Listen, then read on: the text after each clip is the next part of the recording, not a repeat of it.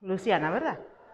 Cuéntanos un poco sobre cómo ha estado el proceso de las elecciones aquí en España, específicamente en Madrid, ¿no? En Madrid y, sobre, y las ciudades que nos corresponden según el padrón de, de la OCLE de Madrid, la verdad que no, no ha habido mayores incidentes, o sea, la, la jornada se ha transcurrido con normalidad.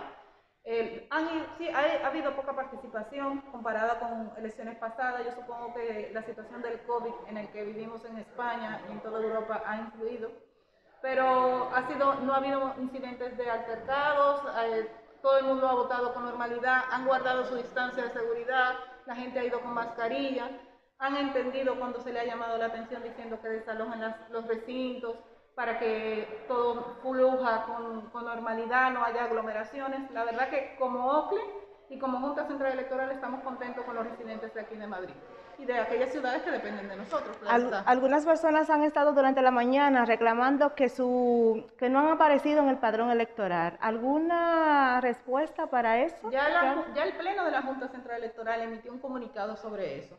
Para poder votar en el exterior es obligatorio que el, el, el elector se inscriba en el padrón correspondiente. Si un ciudadano sacó su cédula, por ejemplo, en República Dominicana, y no dijo en, ese lugar que él quería votar en el exterior, eh, no va a aparecer. O, como aquí sucede en España, que las personas tienen que venir con su cédula a la oficina de la Junta Central Electoral que le quede más cercana para inscribirse. Lamentándolo mucho, hay mucha gente que si no se inscribió, pues no está dentro del padrón.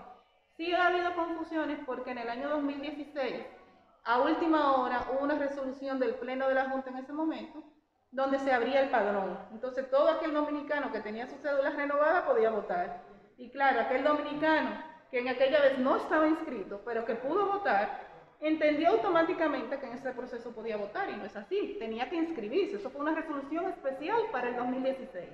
Para 2020 la ley 1519 no permite esa acción. Y ya la Junta hace ya dos semanas emitió un comunicado oficial al respecto. Bueno, pues muchas gracias, Luciana. A tu orden, sí. Luciana, apellido? Díaz. Díaz. Ok, muchas gracias. A tu orden siempre. Si quieres, si